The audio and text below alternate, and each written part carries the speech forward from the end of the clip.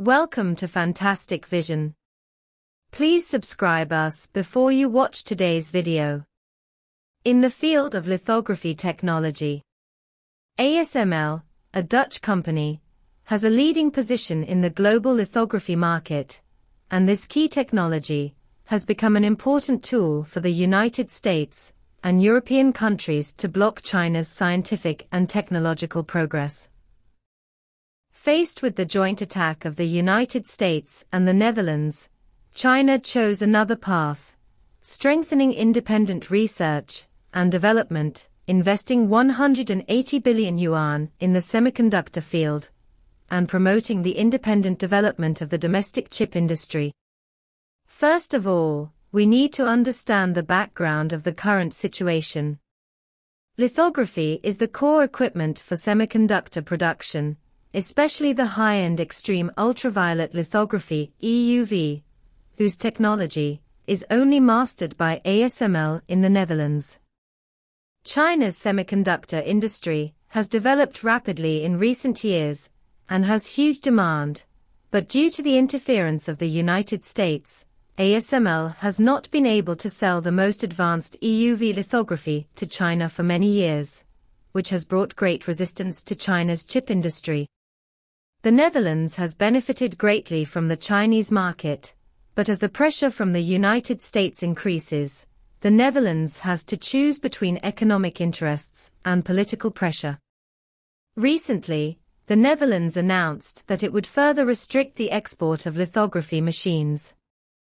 Although China was not explicitly mentioned, the target country is obviously China. The United States has long launched a global technological blockade against China. Not only lithography machines, the United States has also tried to slow down the pace of China's technological development by restricting the export of key technologies and equipment such as advanced chips and semiconductor materials. The intention of the US-Netherlands joint efforts is obviously to continue to deepen the containment of Chinese technology. Although the Netherlands has strengthened its export restrictions on lithography machines to China, ostensibly for security considerations, the real purpose is to cooperate with the US global strategy. In an interview, ASML's CEO even publicly stated that restrictions on exports to China have gone beyond the scope of security and are completely a technological blockade of China. From an economic perspective, the Chinese market is vital to ASML.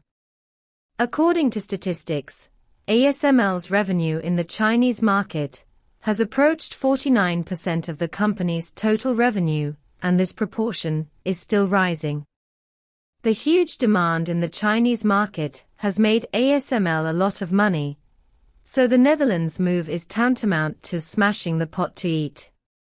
However, the US suppression of China's technology has forced the Netherlands to give up its immediate economic interests and choose to stand with the United States to jointly contain China.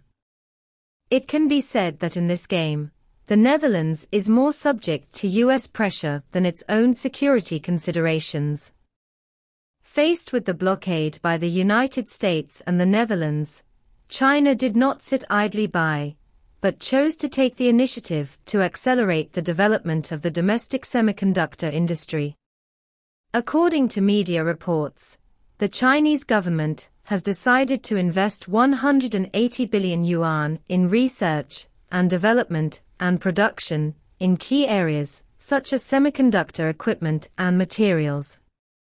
This move is not only a powerful response to the technological blockade by the United States and the Netherlands, but also a firm signal that China is promoting independent innovation in science and technology.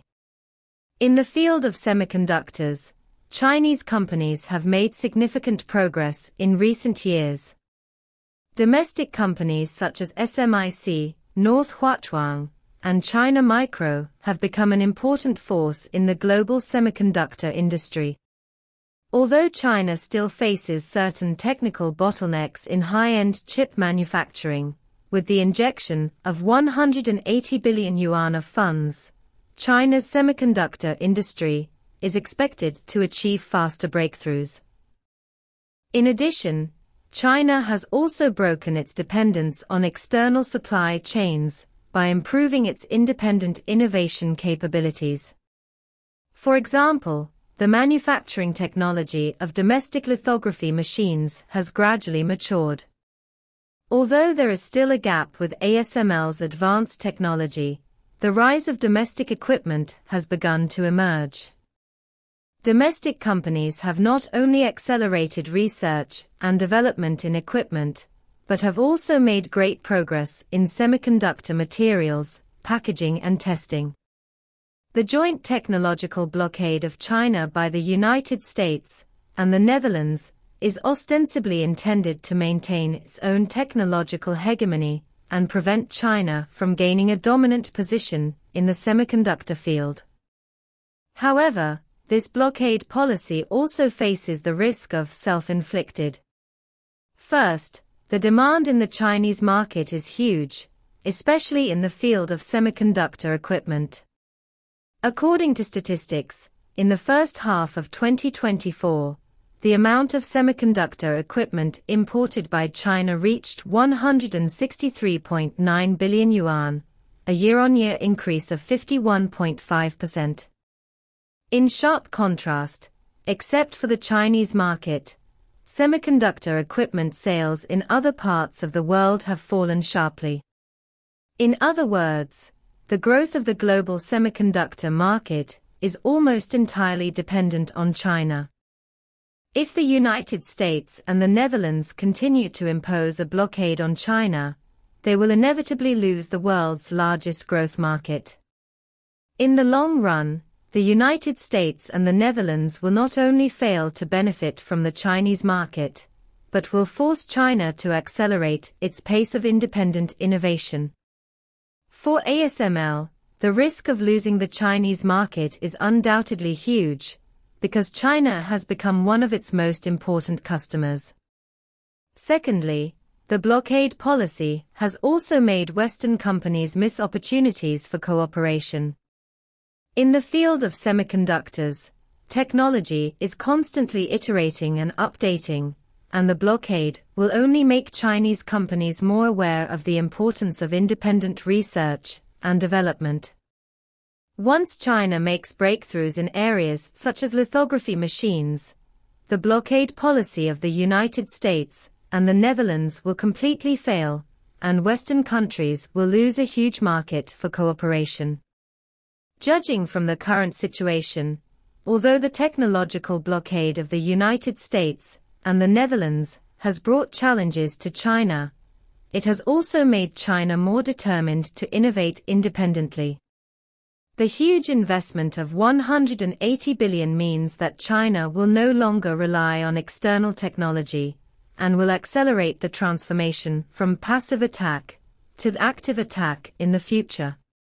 China's semiconductor industry has gradually grown from an initial follower to an important member of the global technological competition. Although it still needs to face the blockade and suppression of the United States and other countries in the short term, in the long run, it is only a matter of time for China to achieve full autonomy of the industrial chain through independent research and development.